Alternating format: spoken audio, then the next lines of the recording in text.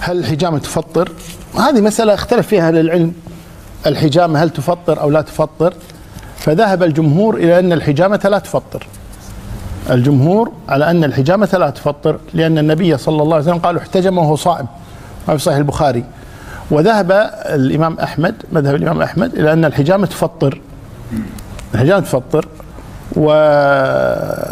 ولحديث أفطر الحاجم والمحجوم والظاهر والعلم عند الله تبارك وتعالى أن هذا الحديث منسوخ أو ضعيف.